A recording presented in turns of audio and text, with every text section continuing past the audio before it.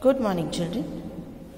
Today in this alphabet book, we take page number 40 and we'll do letter O. O for octopus, O for orange, O for ostrich, O for ox.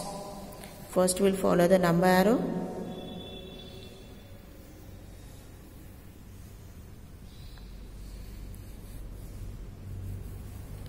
Like a circle, O.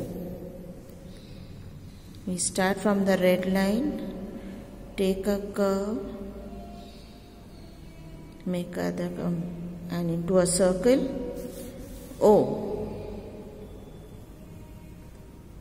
Round.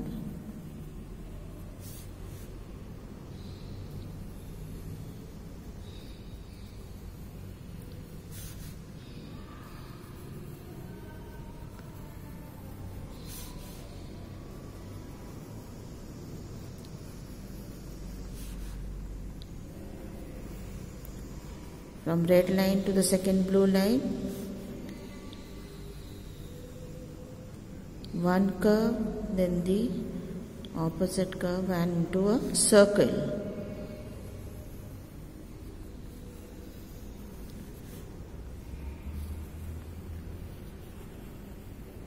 oh.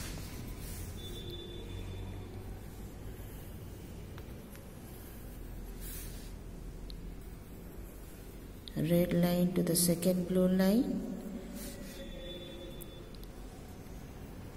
Left side curve then a right side curve and round circle.